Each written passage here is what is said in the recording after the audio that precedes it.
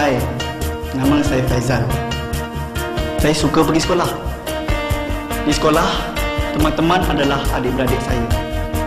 Cikgu-cikgu saya anggap seperti ibu bapa saya.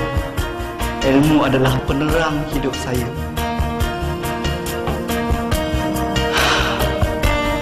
Tapi itu dulu.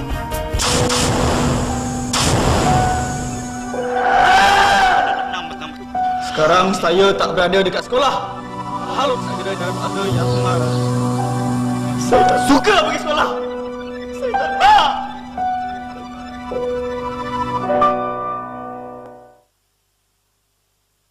Saya cuba termenung, termenung sampai fikirkan apa yang nak buat. Saya pandang jauh. Lepas tu dapatlah sikit-sikit. Dari skrip, sinopsis ke thumbnail, saya memang sangat berpuas hati lah.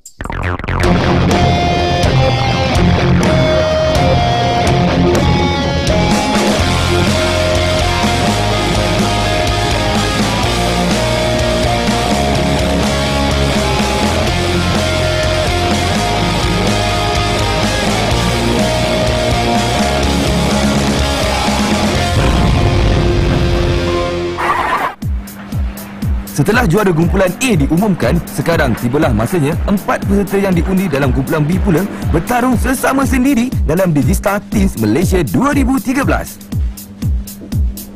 Kumpulan baru, juri pun mestilah baru. Bagaimana cita rasa juri kali ini dengan empat juri yang lalu? Tunggu. Mula-mula saya nak ucapkan tahniah kepada kawan uh, dan terpilih untuk uh, apa nama tu uh, kita sama-sama untuk masuk dalam apa nama tu Digistar ni. Assalamualaikum dan selamat pagi. Nama saya Nur Isa Syamil bin Muhammad Azmi. Boleh panggil Isa. Okay, uh, nama saya Muhammad Zul Hafiq bin Muhammad Syah Zaman. Uh, kawan-kawan panggil AB. Uh, nama saya Muhammad Suhaib bin Azil. Nama saya Farah Raihana binti Muhammad ya. Orang panggil Raihana.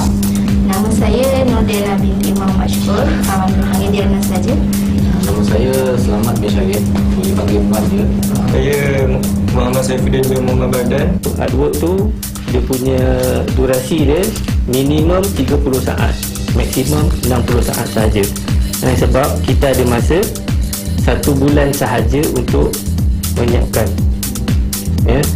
So kita uh, bukan nak uh, quality yang macam yang kamu tengok Disney apa semua tu kan eh? kalau dapat bagus buat lagi bagus kan dan saya rasa benda tu tak mustahil pun eh cuma kamu kena pandai lagi tu kena bincang dengan mentor-mentor eh mentor-mentor sini semua hebat-hebat ni eh Muhammad Saifuddin eh uh, kamu dengan Mr. Chia okey Selamat pagi semua.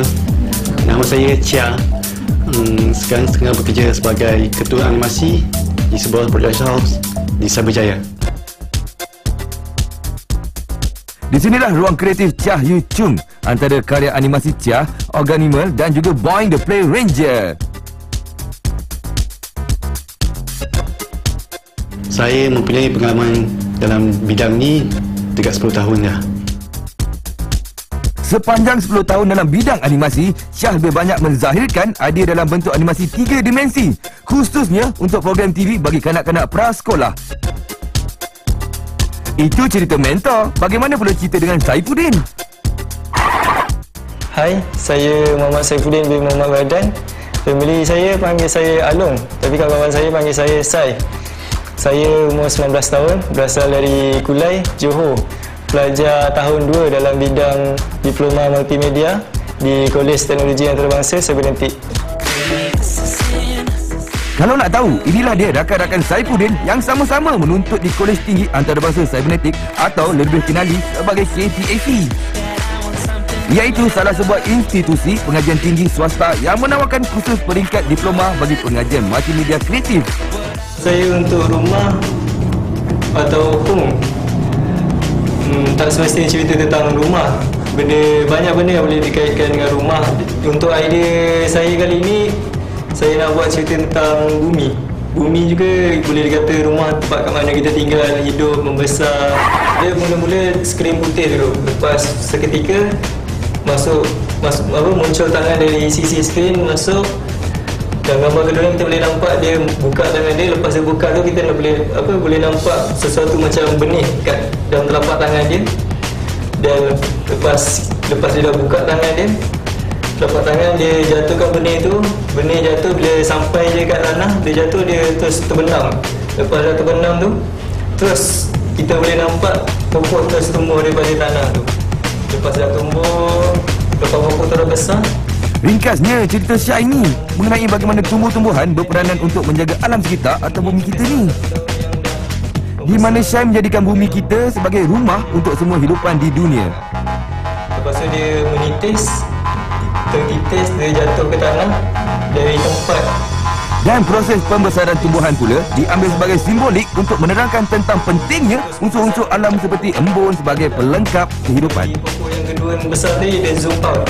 Zoom out ke Nampak pemandangan daripada tanah yang gersang Yang tak ada apa tanah aja. Sekarang kita boleh nampak Semua menghijau sejauh mata memandang Zoom out lagi sambil Tangan dan pokok ini pula menggambarkan betapa pentingnya tugas manusia dalam memelihara kehidupan yang ada di bumi ini. Dengan adanya hubungan baik antara alam dan manusia, bumi yang dianggap sebagai rumah akan selamat untuk semua. Untuk menyampaikan mesej ini, Syai akan menggunakan beberapa teknik animasi dalam proses penceritaannya. Dah nampak tangan tadi Tangan tu bergerak Seperti bumi berputar dengan laju dan juga perubahan bentuk dengan menggunakan warna yang berbeza serta muzik latar bagi menghidupkan mood dalam cerita.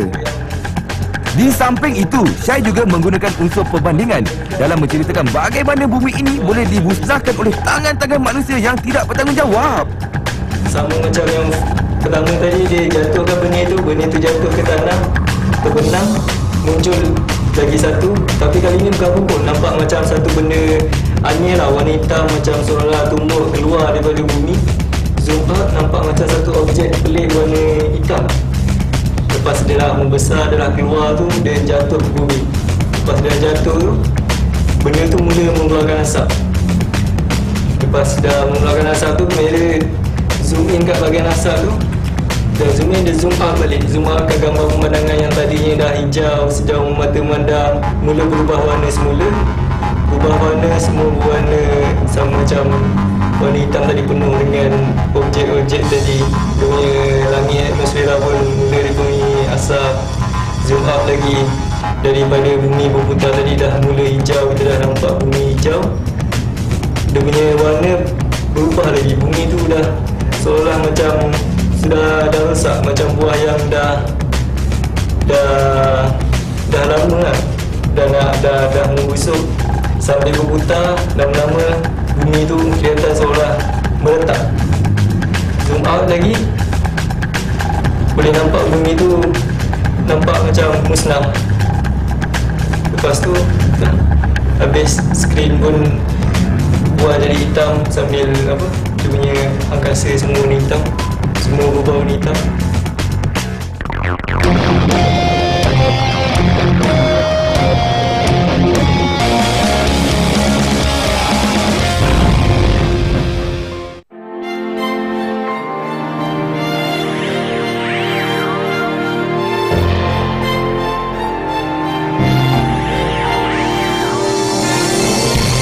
Tropicana Twister diperbuat daripada jus sebenar daripada Tropicana, jenama jus nombor satu di dunia.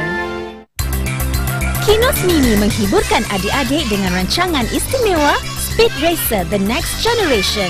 Nikmati kelazatan Kinos Mini sambil mengikuti Speed Racer The Next Generation bersama rakan-rakan. Jangan lupa bersama kami setiap Ahad 9 pagi hanya di TV2. Speed Racer The Next Generation dibawakan oleh Kinos Mini. Eh,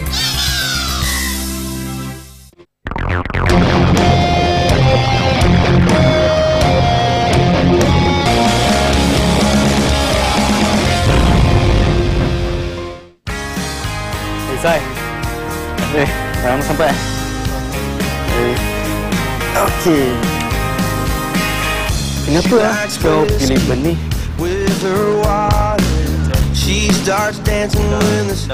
Seminggu setelah tugasan diberi, barulah Syai berpeluang berjumpa dengan mentornya, Chia Yu Chung. Seperti biasa, dalam sesi perbincangan awal, fokus mereka lebih tertumpu kepada pembentangan papan cerita ataupun storyboard. Tapi soalnya, adakah mentor Syai, Syah berpuas hati atau Syai juga akan menerima nasib sama seperti peserta-peserta sebelum ni? Perlu melakukan beberapa rombakan pada cerita dan juga karakter. Untuk animation story yang penting yang execution medium 2D 3D memang cuma cara menyampaikan message itu so, pakai software apa Fuh, lega. Tak ada apa yang kena ubah ataupun kena tambah. Kalau tak silap di G-Statins lah kan. Ini kali pertama papan cerita peserta kita mendapat pujian daripada mentor. Agak-agaknya lah kan. Apa yang Syah suka tu? Sinopsis ke thumbnail Saya memang sangat berpuas hati lah dengan lukisan dia tu. Dapat buat sketch dia memang berjaya menerangkan mesej yang dia nak sampaikan. Um, cuma saya risau je bahagian execution animation tu sebab mereka diberikan sebenarnya seminggu saja untuk buat animation. Dan Yelah, kalau untuk satu saat animation memang memerlukan 24 25 frame lukisan. Sebab kalau tak ikut masa biasa ada yang buat macam lah cincai asalkan siap aja kan. Saya berharap uh, memang saya akan tekun lah. Tekun um, menyiapkan kerja dia dan membuat sebaik yang mungkin uh, setakat ni kemampuan atau kebolehan saya baru sampai 2D uh, sebab itulah saya nak buat dalam 2D Alah, ingatkan dah nak mulakan kerja. Rupanya nak kenakan Digi Starting dengan koleksi komik yang saya ada. Alang-alang dah datang. Kita layankan dulu hobi Syah yang satu ni. Ha? Ada lagi ke? Permainan dalam kalian ni kawan-kawan pun suka kan? Amboi, sukanya dia. Dia mesti baik punya game ni.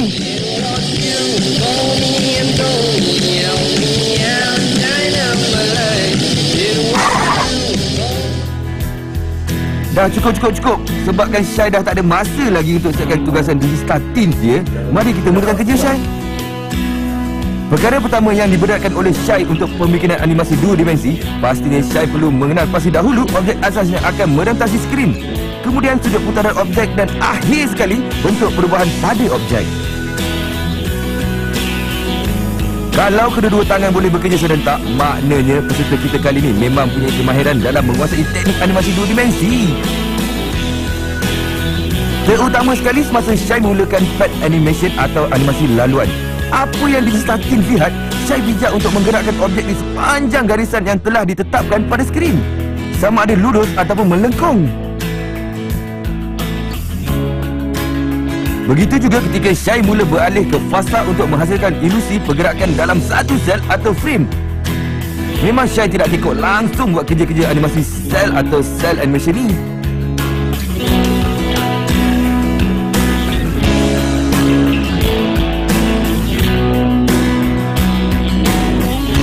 Tapi adakah cara ini betul dalam mereka bentuk suatu watak?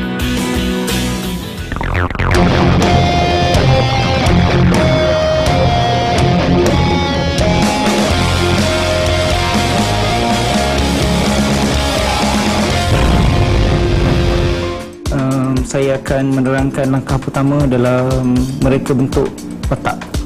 Pertama sekali apa yang kita perlu dalam mereka bentuk suatu watak ni adalah uh, siluet. Maksudnya dia punya form. Sama ada dia tinggi, uh, dia gemuk ke ataupun dia kurus. Segala bentuk uh, siluet ni akan memberi uh, dia dia akan beri uh, watak tu personality. Maksudnya kalau kita tak dapat nak tackle tak dapat nak tentukan siluet tu keseluruhan uh, proses nanti sampai model akan ada masalah. Uh, kertas reka bentuk karakter. Apa yang kita perlu ada adalah um, tiga suku. Maksudnya pusingan tiga tiga suku darjah. Kita kita ada depan sisi dan belakang penulis skrip akan bagi karakter ni umur dia berapa? Yang kedua uh, sifat uh, berbadan besar ataupun bertangan besar. Ada parut dekat mata ke pakai spek ke. Jadi benda-benda ni kita akan tarik dia punya informasi tu dia akan masuk dalam character design jadi ini adalah penting dalam penghasilan animasi. Bila bentuk asas ni kabur sesuatu karakter tu dia takkan jelas kalau bentuk asas ni dia dah kukuh maksudnya uh, kita tidak perlu mem- membuat uh, penambahbaikan di masa ke semasa. Um, selalunya karakter-karakter uh, yang dihasilkan mempunyai watak yang amat berbeza. Jadi ini adalah penting untuk membantu penceritaan sesebuah animasi. Kalau karakter penjahat dan karakter hero kita kita reka bentuk lebih kurang sama. Maka penonton akan hilang dia punya uh, visual. Maksudnya dari segi visual tu penonton tak akan tahu mana satu karakter hero mana satu karakter jahat. Jadi uh, pada peringkat awal ni adalah penting supaya sekali tengok je kita dah tahu oh ini boss. Ini uh, hero. Sebab selalunya animasi ni ditonton oleh um, remaja dan kanak-kanak. Jadi kita uh, tak mahu mereka hilang dalam watak tu. Maksudnya dia, dia tengok sekali dah tahu uh, ini hero ini penjahat. Sebab animasi ni dia punya uh, peraturan dia kita cuba lari apa yang kita boleh buat dalam filem uh, yang biasa kita cuba lahirkan sesuatu yang uh, punca dia daripada imajinasi jadi kita tak boleh terlampau berpaut sangat pada realiti suatu karakter. Karakter tu sendiri uh, dia dah menimbulkan tanda tanya kepada penonton. Kenapa kerbau ni pakai kot? Kenapa dia berjalan berkaki dua? Apa karakter dia? Kenapa dia macam ketua mafia contohnya? Jadi uh, dalam animasi benda-benda macam ni yang, yang kita cuba nak terapkan. Maksudnya benda-benda yang kita tak boleh nak buat dengan live action ataupun uh, siri yang berpaut pada reality. Uh, lukis satu karakter tunjuk kepada kawan-kawan. Kalau ramai yang berminat jadi maksudnya karakter anda telah berjaya mengambil perhatian orang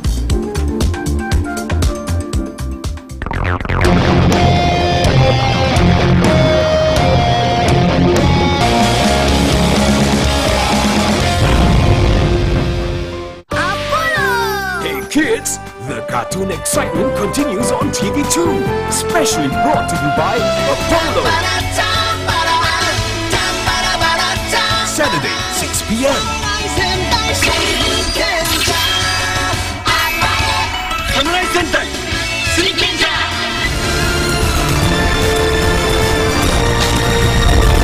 Sunday, 6 p.m. My name is Kai. I am a Kairu warrior. My quest is to conquer the Kairu.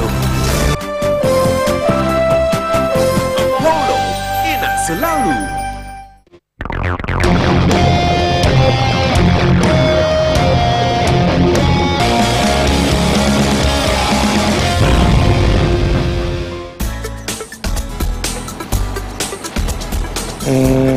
Dah dalam final dia macam dah juga lah walaupun kira saya buat apa yang mampu apa yang sempat. Aik, janganlah cakap macam tu Syai. This is something yakin idea Syai ni akan dapat diterima oleh Syah Dan juga tiga lagi panel semasa hari penjurian nanti. Bak kata Syah hari tu Yang penting mesej yang disampaikan. Bentuk animasi tu hanya menjadi perantaraan Untuk mencantikkan cerita je. Tak percaya? Tanya mentor nanti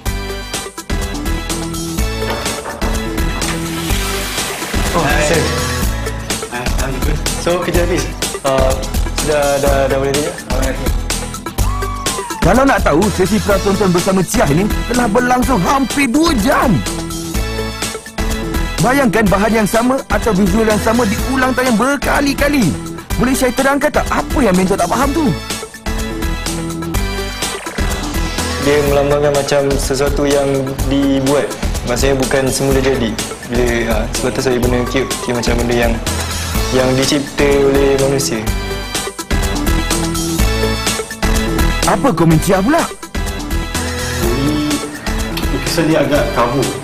Memang blur Saya cuba main dengan dia punya apa Macam Kau betul juga ada blur tu kan? Saya cuba main dengan tu mungkin Ter- Ah, terlebih terlampau banyak, ah. Dia blur sangat ah. Saya tak reti lagi kawal apa Cuma kontrol dia punya blurriness Blur, blur dia punya blur Okey, muzik pula. Macam mana? Lebih, lebih lah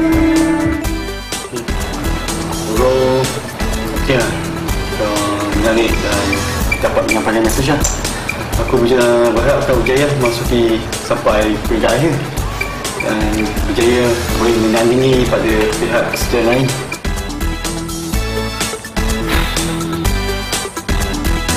Dia menang dari segi story dia. Sebenarnya story agak bagus tu um, yelah sebab dia, sebab dia kena bertanding dengan kumpulan-kumpulan yang ada dua tiga orang tu effort dan kualiti dia pasti lebih cantik daripada Sai lah so dari Sai boleh menang cuma dari segi story wise dia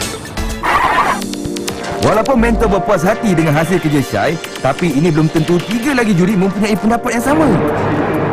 Sama ada Syai dapat melangkah ke pusingan seterusnya atau tidak bergantung kepada visual animasi ini. Mana kita minum